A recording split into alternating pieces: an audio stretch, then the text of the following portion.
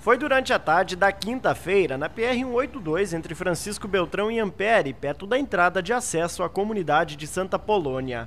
De acordo com informações colhidas no local pelo repórter Júlio César Alves, da Rádio Ampere, esse carro com placas de pato branco e um dos caminhões seguiam sentido a Beltrão, quando acabaram batendo.